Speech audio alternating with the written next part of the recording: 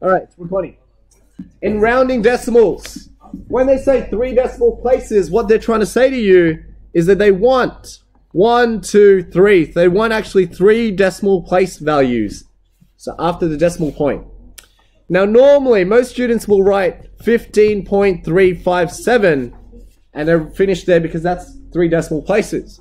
But there's just one rule for us to round things.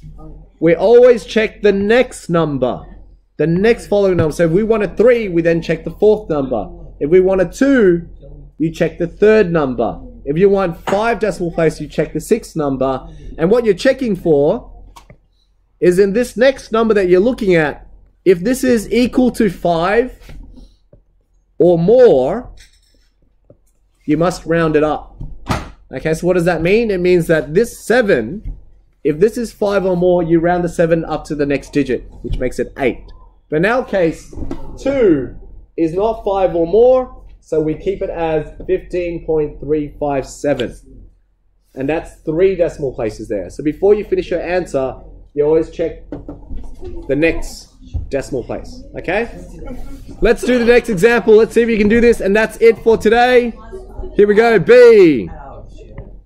4.861 95082 Shoot his head off. Oh, you know, I'm gonna, I'm gonna terrorist It's driving me insane. Luke. I'm still recording. Whoops. All right, Luke, remember, and this is going for everyone else as well. If I'm speaking, you have two things to do actively listening or actively taking notes. Now, you're not actively taking notes, so you're actively listening. It's one or the other. But you're not actively talking while I'm talking. Otherwise, what you can do is I could give you a third option. You can teach the class, and I'll sit where you are. Okay? And then you can sit here, and I expect that everyone learns. Now, if everyone fails for whatever reason, that's on you. Okay? But if you don't want to do that, you've got two roles listening or writing. Okay. Okay? That goes for everyone else as well. It's not just Luke, but it's everyone else as well. So if you're going to speak while I'm speaking, I'm assuming you want to teach. Then you come up here and you do the job. Right? Thank you. Now, Do you get paid? no, I get paid. That'll be great. Oh, Hey, but you get experience. yeah.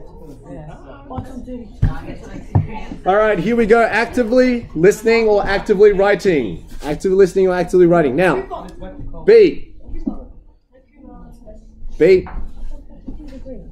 B. B, B. B, B. B. We're listening.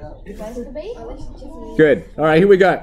4.861958082. They want you to round it to four decimal places. So the numbers that you'll be working with 4.8619. That's four decimal places there. So you can see here I've got four, one, two, three, four. But then you need to check the next digit. Is it five or more? And we can see that this is five, exactly five. So that means you need to round that last digit up by one. Okay, if it's not five or more, you leave your answers that. But now it is a five or more. So that's why in the next position, we now need to write this. Now, if I increase nine by one digit, what do I get? Zero, 10, which then becomes zero, carry the one. two, That becomes 2. So 19 essentially becomes 20. And this is 8620.4. So when they say four decimal places, please include that 0. In year 12, without that 0, you do lose a mark. You have to write that 0. If they ask for four decimal places, you must put it. Okay, it's a very trivial idea, but that's how examiners will mark. So get into reading the question. It says four decimal places. This is four. One, two, three, four. Okay, make sure to put it in. So that is the rounding skill. So you can see both of them. They wanted three, check the fourth one. They wanted four,